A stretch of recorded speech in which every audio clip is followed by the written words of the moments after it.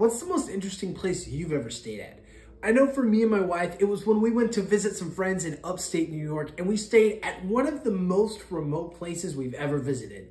If you're not familiar with upstate New York, basically there's New York City and there are thousands and thousands and thousands of miles of acreage.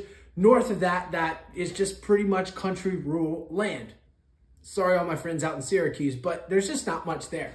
However, what it lacks in density of population, it makes up for in its ability to captivate you with just the local scenery and the local shops and vibes that you get when you visit the upstate New York area. Now, we did stay at a little cabin in the woods built by an Amish community members, and it was really cool and super cute because the houses themselves were super structurally sound and actually blocked out most of the sounds from the exterior aside from the rain dripping on the metal roof.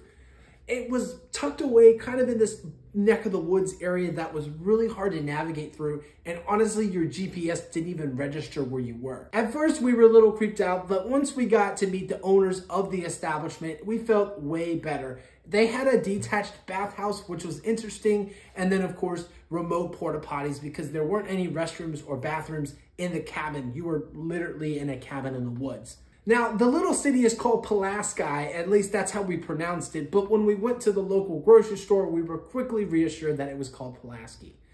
After bumping into some more locals, buying some local merch, and checking out some of the most beautiful waterfall sites in all of the Adams, Syracuse, upstate New York area, we realized that we had made a good decision and picking something really out of our comfort zone, but ultimately was a plus and a bonus and a good decision because we had a really great time and it's not something we do every day. What's the most interesting place you've ever visited? Let me know in the comments below.